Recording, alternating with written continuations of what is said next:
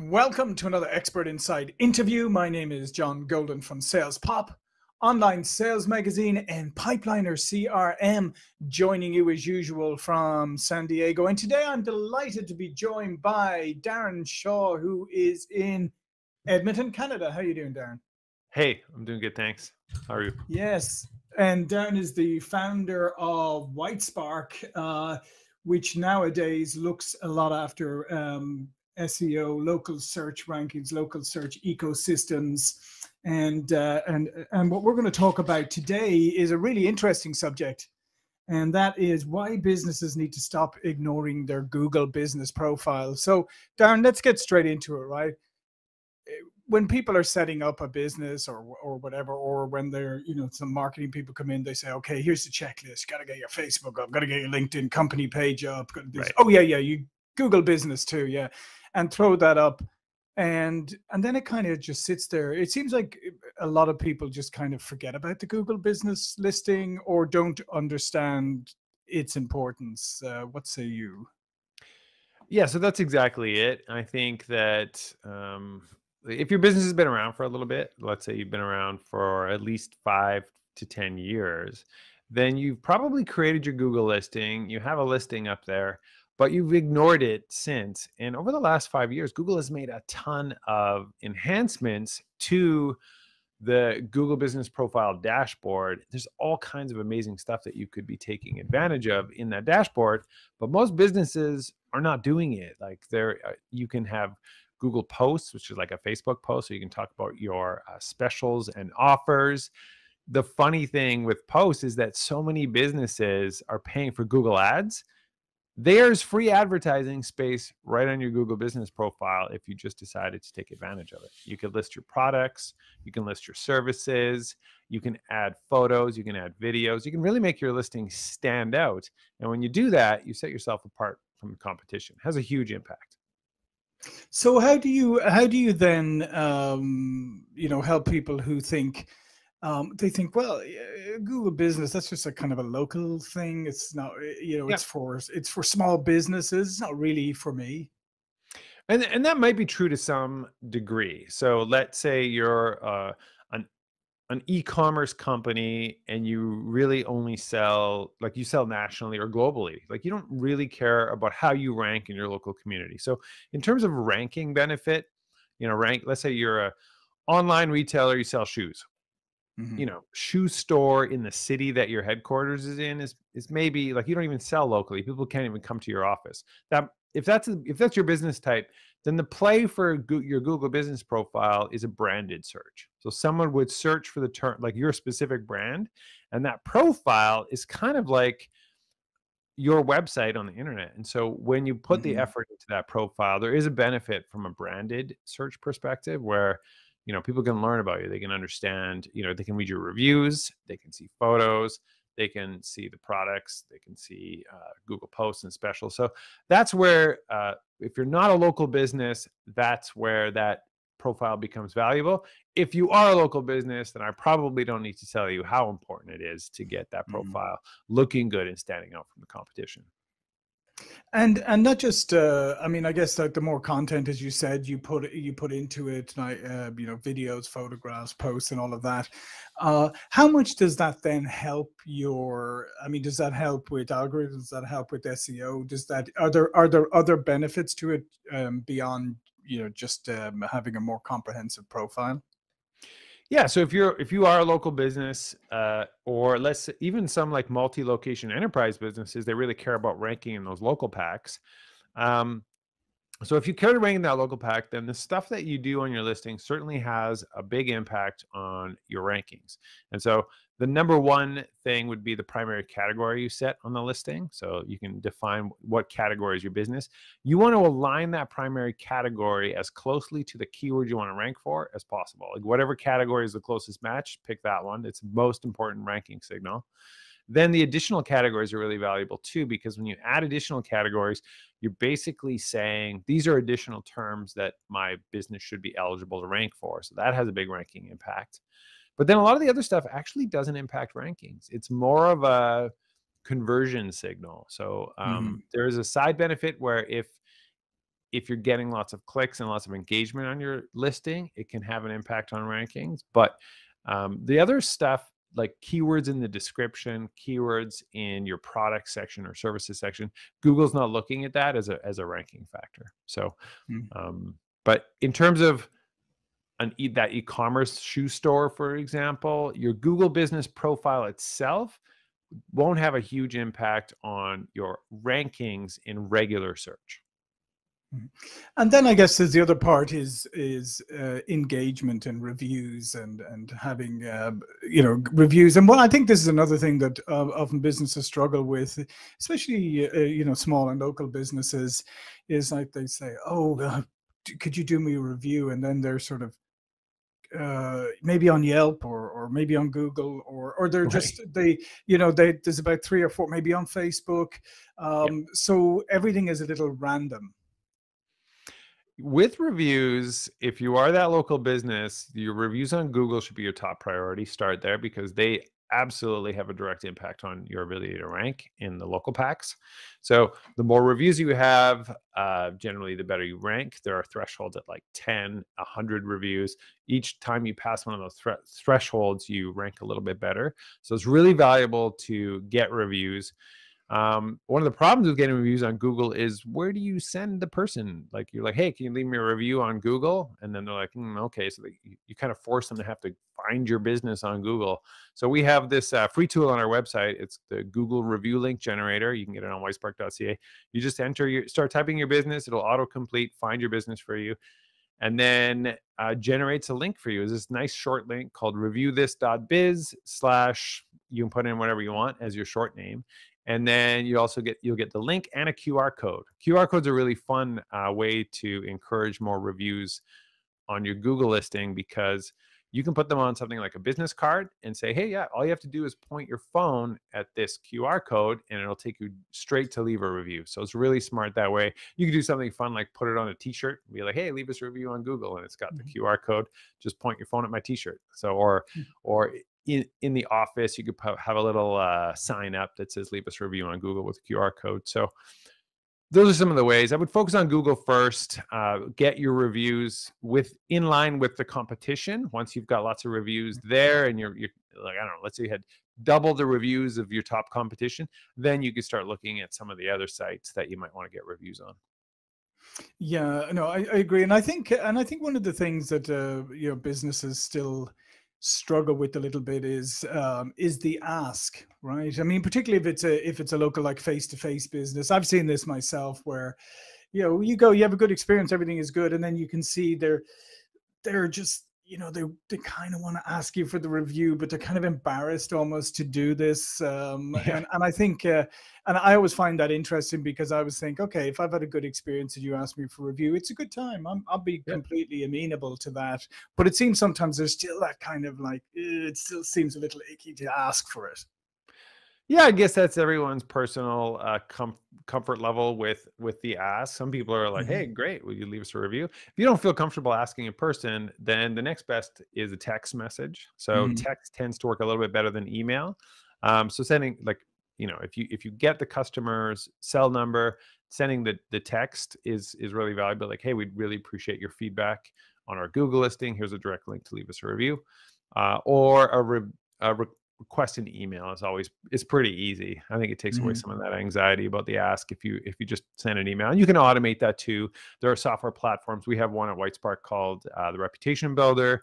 You can load up your customers. We can connect to your crm and it auto sends the asks out for you via email or text and so that that's another way to go yeah, um, but obviously, I mean, when you do when you do the face to face ask, it's got a little bit more weight behind it. So it I'm does, especially if you give that card. He'd be like, you know, would you leave me a mm. review on Google? They say, yeah, of course. Yeah, I had a great experience. Awesome. I'm going to make it easy for you.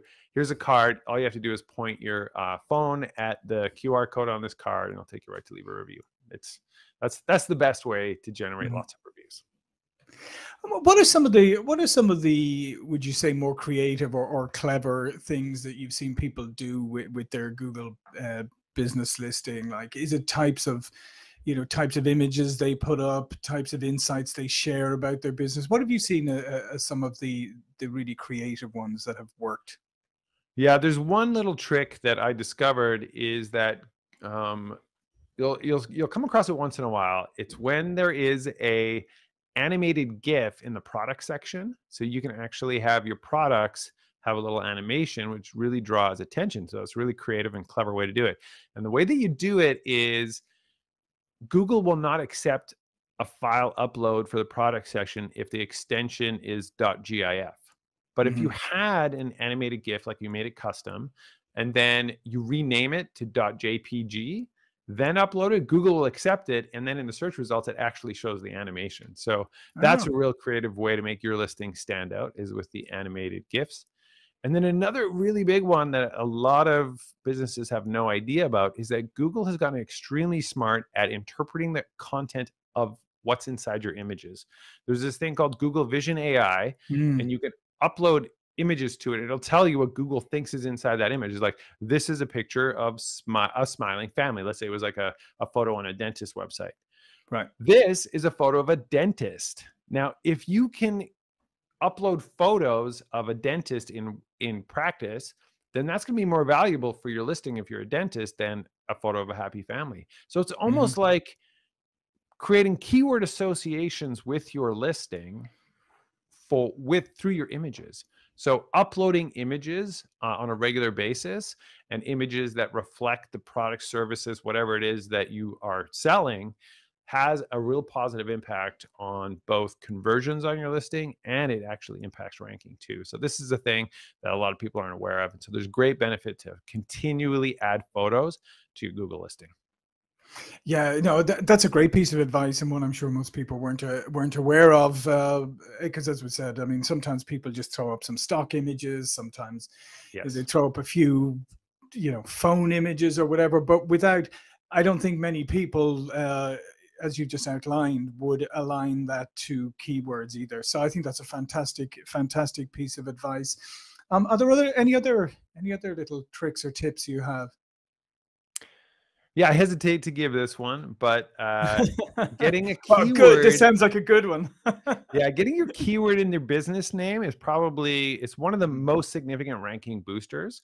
So in in Google, it's like, well, what's your business name? And you can type in your business name, and most people, let's say I'm Acme Plumbing, right? Acme Mhm. Plumbing. I put that in my in my business name. Uh, now, if I want to rank for, let's say, Chicago plumbers, and I made my business name Acme Plumbing dash Chicago Plumbers, that absolutely has an impact on rankings, and you'll rank better for Chicago plumbers because you have those keywords in the business name. Now, I, I hesitate to tell that tip because you can actually get your listing suspended. That's against Google's guidelines. You you take a risk when you do that. Um, so the the actual tip is to rebrand your business. We helped a business, uh, one of our clients, completely rebrand. So you know the business name was very kind of generic brand name before that didn't have the keywords in the name. So we helped them come up with a new brand name that had the keywords in the name. It had an overnight massive impact on their rankings. This is a multi-location brand, and so in at scale, it had a huge impact. It's worth millions of dollars in additional revenue because they skyrocketed to the top of the local packs. So keywords in the business name in the Google business profile absolutely impact ranking, but do it at your own risk because you could potentially get your listing suspended. If you don't want to get your listing suspended, change your actual business name because you can't get suspended if it's your actual business name. Yeah, yeah. You know what's fascinating about that, uh, Darren, is the fact that you know once upon a time you'd sort of come up with your your business name, and you maybe you go through a process. You go, oh, cool name for my business. But now what you're saying here is okay. Maybe think a little bit more strategically and say how how does my how will my business name impact um, you know SEO and ranking and all of that. And I think that's an I think that's an incredibly important takeaway because I I guarantee you, not many people know that. That's a, uh, in fact, I just learned something new myself. Thank you. Right. I think it, it applies for the local business that cares Mm-hmm. to rank in the local packs. If you are that e-commerce shoe company, you probably don't want to do that. You want to go with a, a better looking brand name. Um, but if you are going to actually do it, there is that that financial benefit to rebranding. You have to do it everywhere. You have to do it on your logo, your website, the signage outside of your uh, building. Mm-hmm. You have it's it's it's a job. You got to change your your your letterhead your like you have to Mm-hmm. officially rebrand and you change it with the secretary of state. It's it's it's a full rebrand. Otherwise you still risk the risk your listing getting suspended Right, right. Um, are there are, is there any more things coming down the pike here from Google? That, any things that you're aware of that's going to change? Um, maybe enhancements to the Google business listings or their algorithms, or anything that's coming uh, coming in the future that you're aware of, or that you suspect might be coming? Yeah, well, they are pushing everyone to edit their listing in the search results rather than the Google Business Profile dashboard. That hints at them trying to sunset that application. So you'll, you'll no longer manage your listings in the Google Business Profile dashboard. It becomes a problem for multi location businesses. It's really hard to Mhm. manage each of those in the search results. So that's a big one that they're pushing. Um, more ads. That, that's the sort of nonstop uh, path that Google is on. They're they're just trying to sell more ads, and and they they've built up their local product because they want to. There's a huge market of small local businesses that they would like to sell Google ads to, and so um, just continuing to refine that. Uh, another big one is that's really coming is the ability to sync your products with your inventory, so you could sell them right on your Mhm. Google listing. Mm. So any retail business or any business that sells actual products, we see a shift. They actually almost hinted at it uh, a a few weeks ago. The product section disappeared and it says products are now being managed in Merchant Center, which was very interesting. But then the next day it was reverted. So almost like they released it by accident. So really tying every business to a Merchant Center account where you can sell products and then Google gets a cut of those sales is definitely where they're heading. Right. Yeah, that's really interesting. And yeah, and the advertising part. I mean, come on. Look, I mean, when you use Google as a search engine now, you're you have to actually dig for the organic results because there's so Yeah, much advertising on it right now. yeah it's, like seven seven paid results and then you know then your business if you're lucky if you're lucky your if you're if you're right under that. lucky if you're Yeah. lucky yeah yeah and Well, and that's a and that's that seems to be a trend too i mean if you look at yelp have gone the same direction as well and Yeah. and some other th- and some other things like even tripadvisor there's a lot of them have gone this direction and unfortunately it has taken away from the utility of of the original purpose of, of these of some of these products i think yeah it does make you wonder when does google ruin their search results so much with ads that an mm-hmm. alternative a competitor actually starts gaining ground? That's an interesting idea and there are interesting search engines like Neeva i think is one of them where it's like you pay a monthly subscription for like i don't know it's like cheap it's two bucks a month but you have a ad-free search experience. So that is an interesting model and it'll be interesting to see how over time you know if someone can uh, disrupt google's absolute monopoly of search? Yeah, I mean, and if you think about it, I mean, that's the reason why uh, the why a lot of people switch from cable and stuff to you know watching things on streaming because they're like, oh, no ads or on YouTube. Oh, there was no ads. You can watch all Exactly. this stuff. Now there's ads everywhere. Now it's exactly the same. It's just as irritating unless you pay a premium to have an ad-free experience. And so I do think I do think that is going to become that's going to become more and more of an issue because I think people are just like oh, over you know kind of sick of being just bombarded and when especially when they're Yep. looking for something in particular. Paying for ad free is a, uh growing monetization um, option that businesses are going with. You see it with Twitter. Twitter's got this new thing called Twitter Blue, where if you sign up for that for 350 a month, then any news articles that you link to with to any of their partners like Washington Post or whatever you can read as part of your Twitter Blue uh, subscriptions without the ad and without the paywall gating. Uh, another one is um, uh, like mobile apps. So any apps you put on your phone, like it's free, but if like you want to get rid of the ads, you got to pay for it, right? And so I just really see that model growing, and I- and I think that there's an opportunity in search as well. There's just like the, these ones.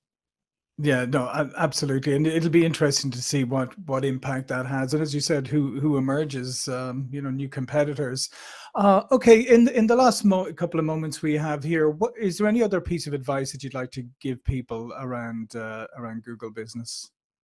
Yeah, it's important for people to know that your your local rankings are impacted by your website and links coming into your website as well. So if we're talking about improving your local rankings, don't only focus on Google uh, business profile. You have to, you know, have to focus on that, get that optimized and and well built out.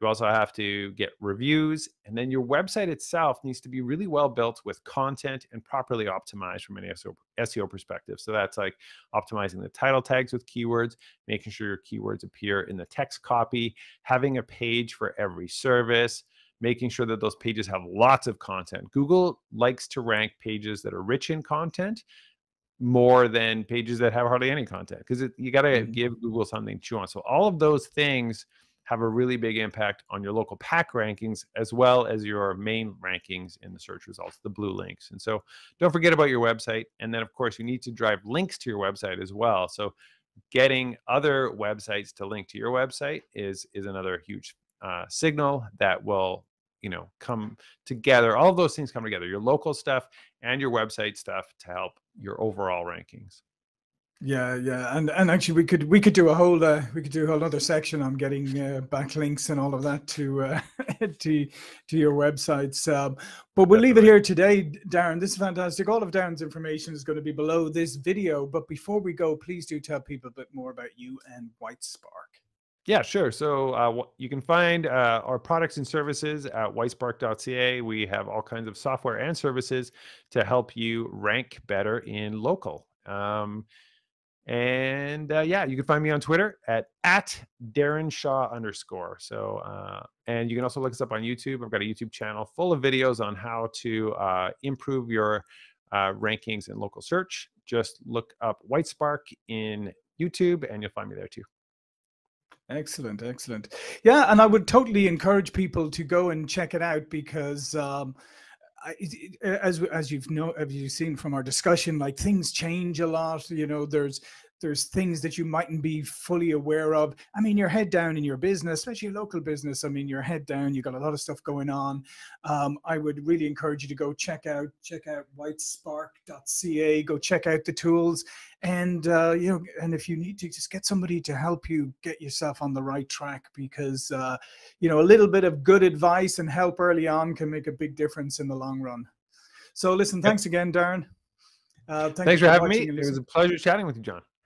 Yeah, you too. And thank you for watching and listening. And I'll see you all again soon. Thank you. Ya.